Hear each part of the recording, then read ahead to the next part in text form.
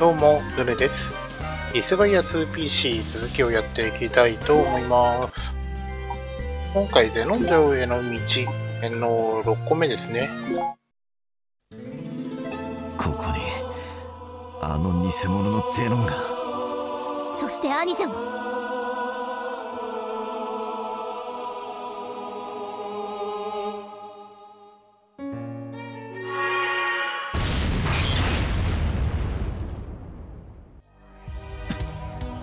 やはりここまで来てしまいましたか。できれば戦いたくはありませんでしたがこれも定め。どうしてもやるのか。俺もあんたとは戦いたくは。ためらう必要はない。我々は君たちを苦しめてきた元凶を手助けしてきたのだ。我々を倒せ。さもなくば我らは永遠にゼノン様の悪行に手を貸してしまうだろう。なんだと？どういうことだ？そなたたち自らの意志ではなく奴に操られていたのか。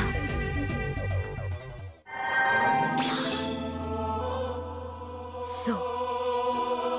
私たちは己の記憶と意志をゼノン様に封印されているのです。今ゼノン様は別魔界の魔王たちとの戦いで激しく消耗しているはず。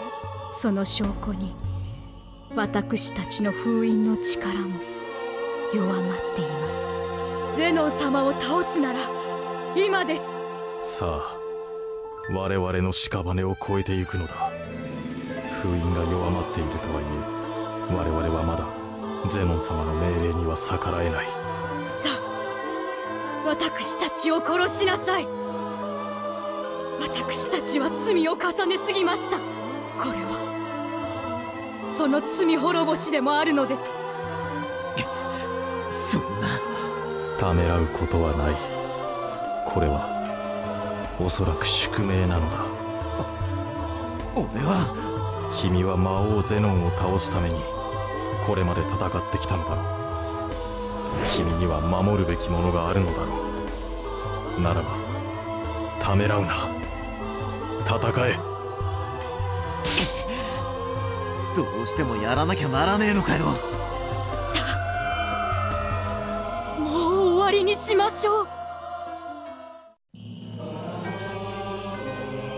さあ、この二人は、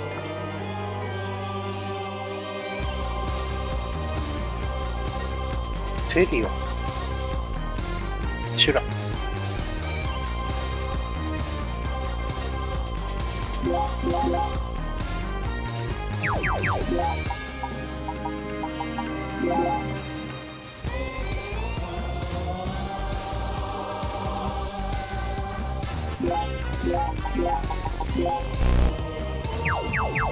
う一個左か。じゃあ右だわ。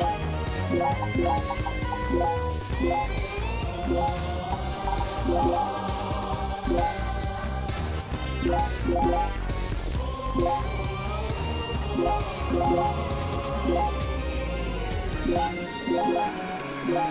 と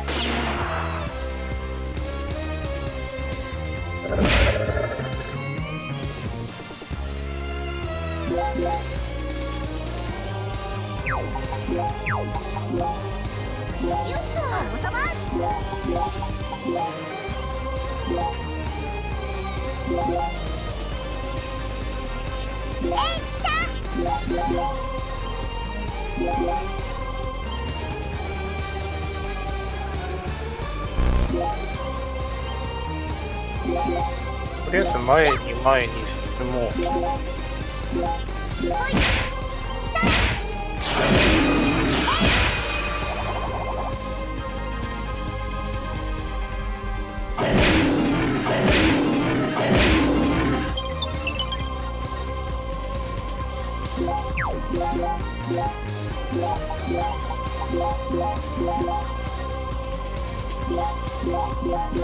Yeah. Yeah.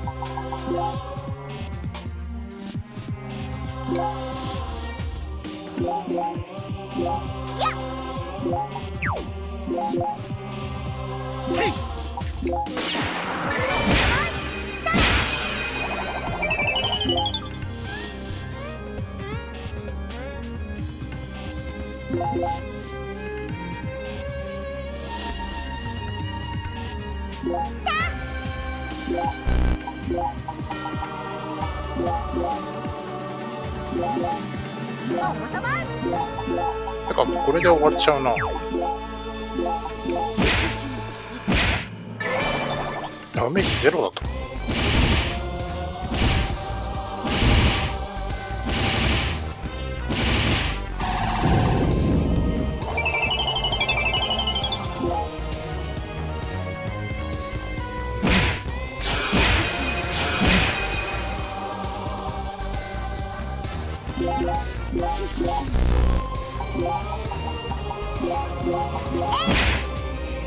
なんでダメージ入んないんだこれ。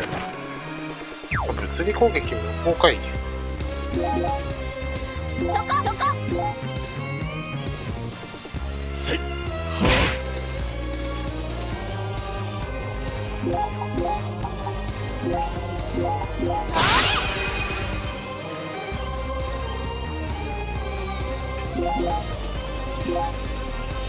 で物理攻撃じゃないもんって。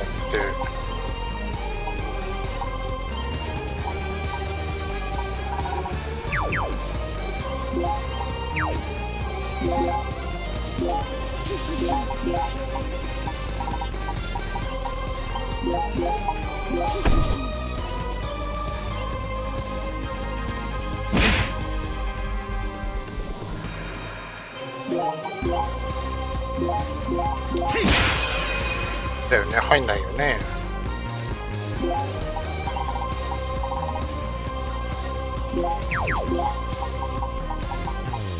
見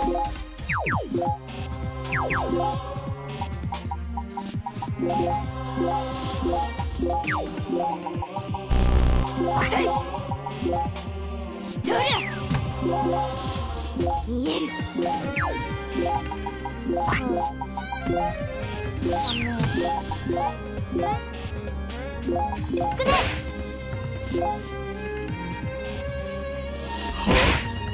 やられちゃうよね。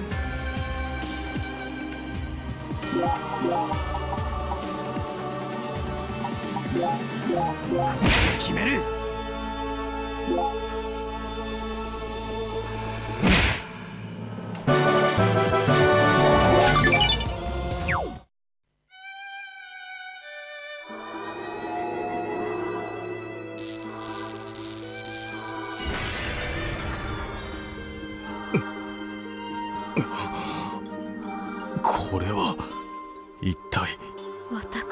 私たちを支配していた封印が。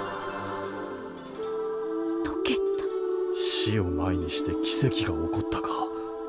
我々に罪の告白をしろというのか。罪の告白？どういうことだ？悪しき呪いが解けて昔の記憶がかすかによみがえってきた君たちに聞いてもらいたい。我々は権力争いを避けこの地に落ち延びた別魔界の悪魔なのだ。なり損ないの人間ではなく純潔の悪魔じゃったのか。悪魔である私たちをベルダイムの人々は温かく迎え入れてくれました。私たちは初めて人のぬくもりを知りこの地で人間として生きること誓ったの。しかし15年前このベルダイムに魔王ゼノンが現れた。愛する人々を守るのが我々の役目と知り親友に後を託し再び悪魔となりて魔王ゼノンに戦いを挑んだのだ。魔王ゼノンの魔力は強大でした。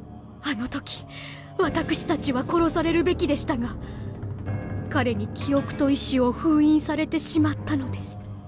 そうだったのか。あれはベルダイムに災いをもたらす元凶。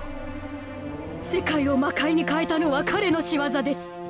あれは人々を悪魔に変えることで自らの魔力を増幅している。人間がいる限り奴の魔力が尽きることはない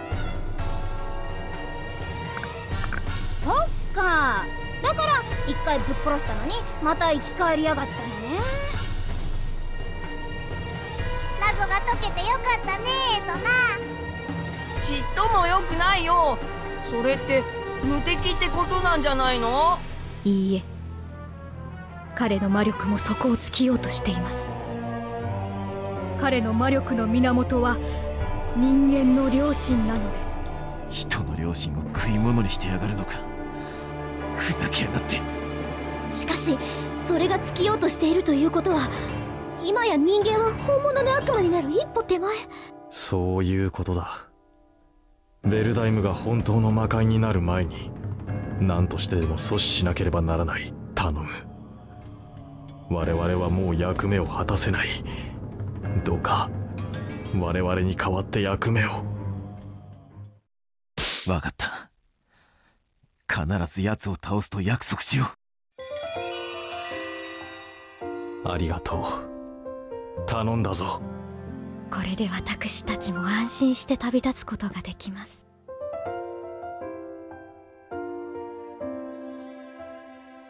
ありがとうアデル。シュラセリオン君たちに託された大切なことを忘れてしまっていたなんて。でもアデルちゃんは立派に育ったわいうことは、アデルは純血の悪魔ってことだよね。これからも彼らの代わりにあの子を見守っていけばいいだからゼノンの呪いが効かないってことだよね。それが私たちの役目よ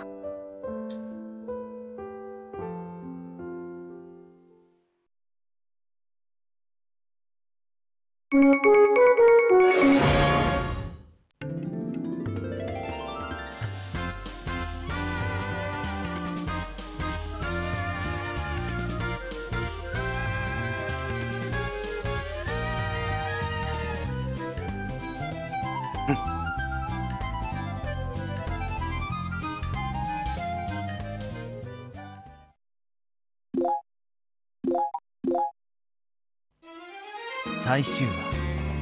真実。いよいよ最終話です。いよいよじゃな。ああいよいよだ。もう迷う必要はない。偽ゼノンが全ての元凶だと分かった今正々堂々全力でぶっ倒すのみ。この戦いもはや後には引けぬ。アデルの申す通り全力を尽くすまで唯一の気がかりは世の中に住まう何かがまたいつ暴れ出すとも限らぬことじゃあの時感じた。強大な力。あの力は危険すぎる。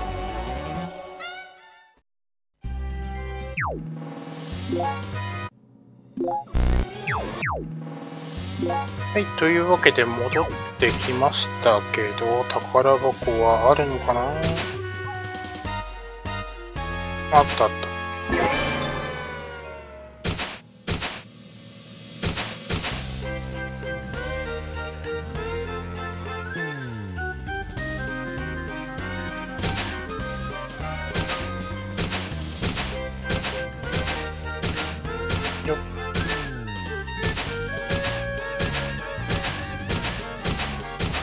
取れない。取れない。取れない。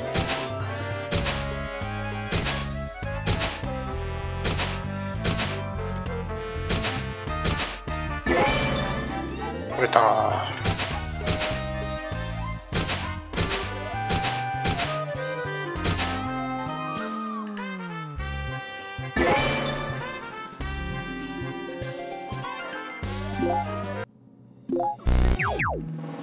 はい。というわけで今回ここまでにします。ご視聴ありがとうございました。